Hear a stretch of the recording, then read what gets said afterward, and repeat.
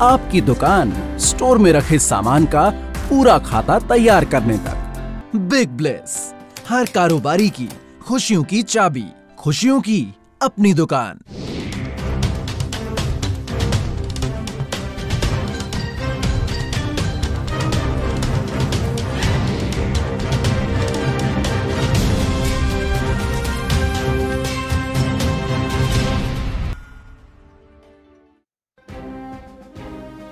गेहूँ निर्यात प्रतिबंध के बाद सरकार की ओर से और अंतर्राष्ट्रीय बाज़ार से दो महत्वपूर्ण सूचनाएँ सामने आ रही हैं। आने वाले दिनों में ये बाज़ार पर असर डाल सकती हैं। पहला, केंद्र सरकार ने घोषणा की है कि निर्यात प्रतिबंधित होने के बाद फर्जी दस्तावेजों का सहारा लेकर विदेश भेजने वालों पर सख्त कार्यवाही करेगी। दरअसल, सरकार सिर्फ़ लेटर ऑफ़ क्रेडिट यानी कि एल के आधार पर ही निर्यात की अनुमति देगी। सरकार ने 13 मई को निर्यात प्रतिबंधित कर सिर्फ़ एल के आधार पर ही खेप रवाना करने की अनुमति दी थी। वहीं विदेश व्यापार महानिदेशालय, यानी डीजीएफटी ने 13 मई के पहले के एलएसी पर ही निर्यात अनुमति देने का आदेश दिया है। पूर्व में सरकारी अनुमान था कि निर्यात सौदे 45 लाख टन के हुए हैं। सरकार के पास जो एल पहुँचे हैं, वे करीब 55 लाख टन के हैं, यानी पुरानी तारीखों में एलएसी जारी करने की शंका गहराने लगी है। सरकार ने आदेश दिया है कि केंद्रीय जाँच एजेंसियों से एलएसी के फर्जीवाड़े की जाँच करवाई जा सकती है।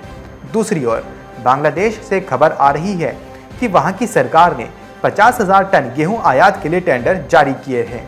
इसमें सिंगापुर और भारत की कंपनियाँ कतार में थी। निचले दामों की वजह से ये जो टेंडर है, भारत की कंपनी के नाम होने की खबरें हैं। हालाँकि अब सवाल उठ रहा है कि देश की निर्यात प्रतिबंध की नीति के कारण कंपनी कैसे आपूर्ति कर पाती है? इस पर भी नज़र है कि गेहूँ की पूरी मात्रा की पूर्ति भारत के माल से की जा सकती है या फिर अन्य देशों से गेहूँ खरीदा जाएगा। इधर, भारतीय मंडियों में मंगलवार को गेहूँ के दाम नरम पड़े रहे। दरअसल, बंदरगाहों पर निर्यातक कंपनियाँ बाईस रुपए क्विंटल में डिलीवरी मांग रही हैं। स्थानीय कारोबारियों के लिए इतने कम दाम पर पड़ता नहीं लग रहा है। ऐसे में, व्यापारियों ने स्थानीय मंडियों में सौदे बंद कर दिए हैं। लेवाली बेहद कमज़ोर होने से मंडियों में इसके दामों में नरमी आई है। किसान भी माल रोकने में लगे हुए हैं। इंदौर की छावनी और लक्ष्मीबाई अनाज मंडी में कुल आवक 10 से बारह हज़ार बोरी की है और इससे ज़्यादा नहीं। दूसरी ओर, निर्यात प्रतिबंध के तरीके से नाराज़ किसानों और व्यापारियों का विरोध प्रदेश में जारी रहा। व्यापारी कंपनियों द्वारा दाम घटाकर खरीदी करने और भुगतान रोकने का आरोप लगा रहे हैं। प्रदेश कांग्रेस उद्योग व व्यापार प्रकोष्ठ ने मामले पर विरोध शुरू कर दिया है। रतलाम, गुना समेत अन्य स्थानों पर मुद्दे पर ज्ञापन भी सौंपे गए। Report, Market Times, TV.